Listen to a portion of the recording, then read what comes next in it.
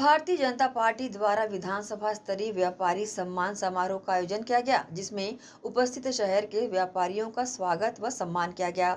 इस मौके पर भाजपा के विधायक पदाधिकारी और चेंबर ऑफ़ कॉमर्स के पदाधिकारी बड़ी संख्या में शामिल रहे।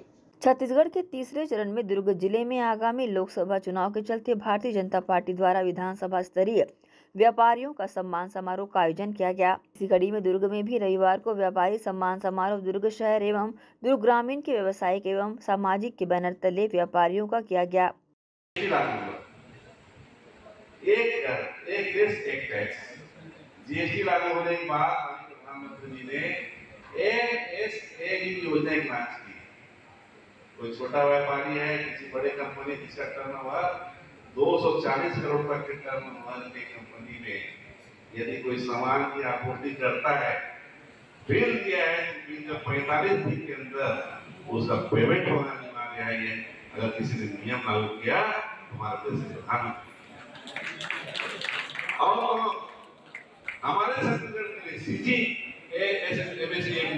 इस मौके पर मुख्य अतिथि के रूप में केदार गुप्ता, प्रदेश प्रवक्ता, भाजपा, दुर्ग ग्रामीण विधायक ललित चंद्राकर शहर विधायक गजेंद्र यादव और चेंबर ऑफ़ कॉमर्स के अजय भसीन, राजीव अग्रवाल, लोकसभा प्रभारी शिव चंद्राकर, संजय बघेल, दिनेश मारुति, अशोक राठी, पवन बड़जात्या, अनूप गटागट सहित अन्य लोग बड़ी संख्या में शामिल रहे। अतिथियों ने अपने उद्बोधन के साथ ही आगामी चुनाव में मतदान करने और तीसरी बार नरेंद्र मोदी की सरकार बनाने अपील की।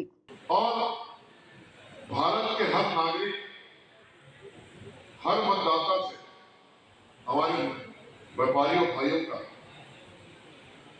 उनका लेना देना। उठना उठना, बैठना। उनका अपना सम्मान। ये बहुत बड़ा, बहुत बड़े। और जैसे हमारे मोदी जी का सोच, निश्चित तौर पे हमारे व्यापारी भाई इस दौरान कार्यक्रम में उपस्थित शहर के व्यापारियों का, अतिथियों के हाथों सम्मान किया गया। मतदान के प्रति आम लोगों के बीच जागरूकता लाने और मतदान का प्रतिशत बढ़ाने, इन शहर के व्यापारियों और चेंबर ऑफ़ कॉमर्स की पहल पर मतदान करने नागरिकों को सामान खरीदी पर विशेष छूट दिए जाने का आह्वान किया। इस संबंध में उन्होंने अपनी प्रतिक्रिया दी। माननीय मोदी जी ने छोटे छोटे फुटकर से लेके बड़े बड़े व्यापारियों के बीच में उनके उद्योग धंधा रेहड़ी, उनका व्यापार, व्यवसाय अच्छा चले उसके लिए अलग अलग योजना उन्होंने लाया है। उस योजना के तहत उन सब प्रकार के लोगों का लाभ, सीधा डायरेक्ट, इनडायरेक्ट उन्होंने लाभ प्रदान किया है।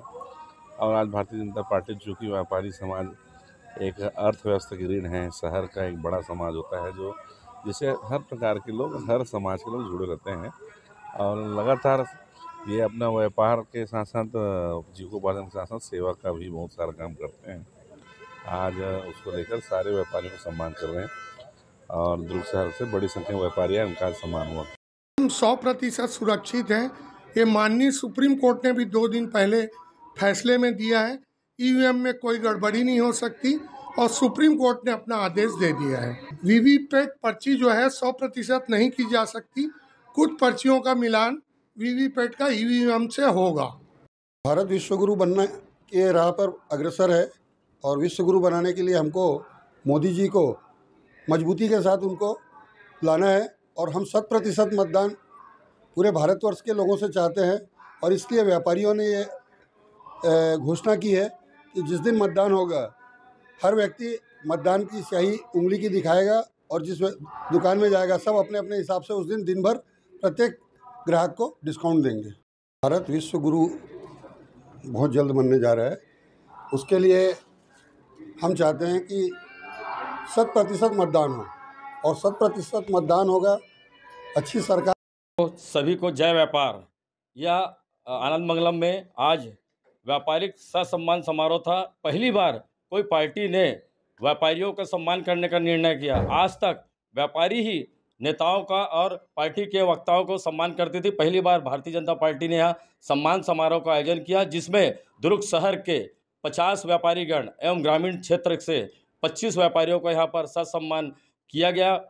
यहाँ के शहर विधायक एवं ग्रामीण विधायक के द्वारा सम्मान किया गया और व्यवसायी को उनके जो कार्य करते हैं उसके लिए जिस जिस क्षेत्र में इसमें बहुत सारे ट्रेड हैं, सराफा एसोसिएशन है, थोक कपड़ा व्यापारी संघ है, मोबाइल एसोसिएशन है, अनाज व्यापारी संघ है और ऐसे विभिन्न एसोसिएशन के सभी पदाधिकारी यहाँ उपस्थित होकर राइस मिल एसोसिएशन के पदाधिकारी, सारे एसोसिएशन के पदाधिकारीगण यहाँ उपस्थित होकर उनको ससम्मान भारतीय जनता पार्टी के द्वारा सम्मान किया गया और उनके उल्लेखनीय कार्यों के लिए उनको धन्यवाद दिया गया। और छत्तीसगढ़ चेंबर ऑफ़ कॉमर्स की विगत दिनों नगर निगम और कलेक्टर महोदय ऋचा प्रकाश चौधरी द्वारा बैठक बुलाई गई थी, जिसमें उन्होंने व्यापारियों से निवेदन किया था कि सात तारीख को मतदान सौ परसेंट कराना है व्यापारी जगत से तो हम सभी जगह शहर के इंदिरा मार्केट, गांधी चौक और विभिन्न मार्केट में जाकर व्यापारियों को सौ प्रतिशत मतदान करने के लिए उनको प्रेरित कर रहे हैं। और इसी संदर्भ में व्यापारियों ने भी दो हाथ आगे आते हुए उन्होंने सात तारीख को जो मतदान करके आएँगे, उनके दुकानों में प्रथम दस व्यापारी जो आएँगे, उनको गिफ्ट देंगे और ऐसे ही अलग अलग ट्रेडों में, चाहे वो होजरी हो, चाहे ड्राई फ्रूट्स की दुकान हो चाहे टीएमटी या लोहे के व्यापारी और ऐसे कपड़ा व्यापारी, सभी ने अपने अपने हिसाब से डिस्काउंट की घोषणा की है, जिसकी समाचार पत्र के माध्यम से आया है। और ये सभी लोग उत्साहित हैं कि जो आए, उनको डिस्काउंट में हम माल वितरित करें। एशियन न्यूज़ के लिए दुर्ग से नसीम फारूकी की रिपोर्ट।